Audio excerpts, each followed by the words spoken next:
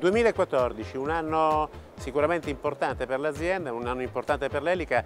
la decisione di un grande cambiamento. Abbiamo cambiato il logo, abbiamo cambiato il sito, abbiamo cambiato tutti quanti i nostri prodotti e quindi ci presentiamo al mercato con una nuova spinta, nuove idee, la stessa passione, cercando di uscire dalla cucina con prodotti diversi per trattare l'aria solamente non in aspirazione ma anche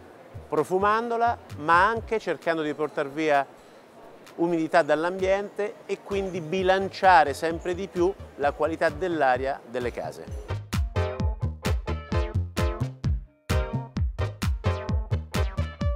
Gli obiettivi di Elica come consuetudine sono quelli di poter crescere sempre di più nel mercato internazionale.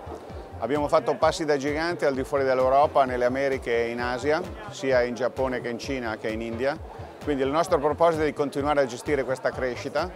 proponendo innovazione nei prodotti e soprattutto gestendo con i nostri clienti principali il business a livello locale, quindi contribuendo con grandi investimenti in comunicazione e nelle persone. Uh, noi investiamo circa 4% del fatturato in sviluppo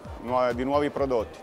e questa è sicuramente una molla importante e saranno delle determinanti per la crescita futura.